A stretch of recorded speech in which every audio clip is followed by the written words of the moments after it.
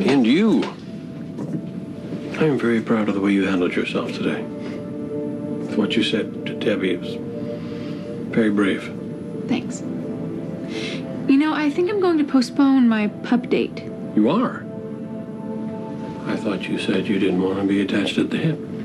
Yeah. Well, after what happened today, I kind of do. Me too. Folks, this is your captain starting our final descent into London Heathrow. Please take your seats. We'll have you on the ground shortly.